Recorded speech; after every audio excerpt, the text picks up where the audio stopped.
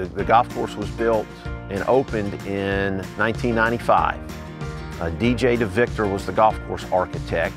I came along in 99. Uh, came back to Clemson. I was a Clemson grad and from this area, so I was able to come back and, and have been here for, for 22 years.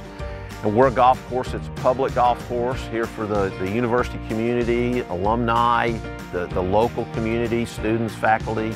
We have about 350 members who, who get some perks and things.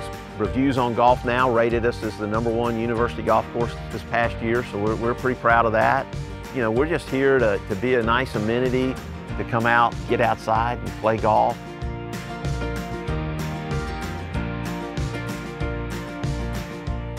I'm on the board of the Carolinas Golf Course Superintendents and we have a conference in November every year before GIS, so we had to go virtual as well. We just did education, so I kind of knew what the, what the seminar portion of it was through Zoom and, and through virtual and I said, how is GCSAA going to do a virtual trade show and how, how is that going to work? But I was very impressed with it. And I clicked on the, the Club Car booth to get a little information because I've been hoping they're going to introduce, you know, the, the, lithium batteries in their electric cars. They had a sweepstakes to, to win one of their new 502 utility vehicles. And later that week got an email and said I had won. And I was just shocked. It was Friday afternoon late. What a way to end the week when you find out you've won a, a utility vehicle and it was just, man, it's really exciting. They made a nice vehicle for us and delivered it last month, and we've been enjoying it.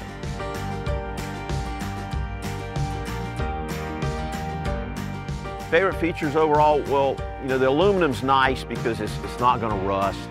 I, I, think the look of it, I think it's a, it's a classic look. They've kind of gone back for the 502, back to the, the kind of the lower front end where you've got better visibility. There's, there's a little more room leg room and you know room for your dog or a fertilizer spreader up front, which is nice.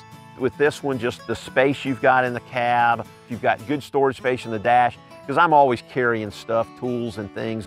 And then, you know, they make a nice toolbox for it. I've always got some tools that I'm, I'm carrying with me. They've got some nice attachments to be able to carry a weed eater on the side where it's just not rolling around in the bed. The canopy is kind of cool too. It's, it's a little bit wider, so it gives you a little little more protection from the elements. Uh, they've made it too where it channels the rain down uh, through the supports, almost like a gutter.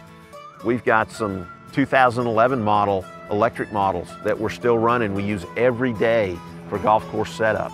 They're 10 years old and, and are still in really, really good shape.